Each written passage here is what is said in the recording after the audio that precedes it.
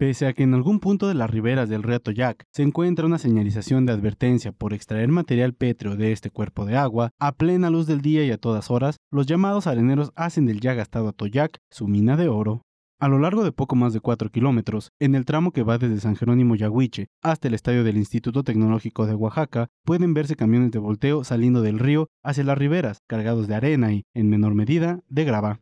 De igual forma, durante el recorrido y en algunos puntos se localizan áreas de trabajo improvisadas que albergan cernidores y en los que puede apreciarse equipo de trabajo como picos, palas y hasta maquinaria pesada. Hasta ahora, la Conagua, a través del organismo de Cuenca Pacífico Sur, ha emitido ligeras recomendaciones y tomado blandas acciones legales. Sin embargo, la situación se agudiza más cada vez, pues las casas de materiales a orillas del río brotan sin control. Cabe señalar que vecinos de poblaciones aledañas al río Toyac y grupos de ambientalistas han alzado la voz, hasta ahora sin éxito, para evitar que se siga explotando de manera desmedida el que es considerado como el afluente más importante de la capital oaxaqueña, pero, ojo, también el más contaminado de la entidad. MBM Televisión.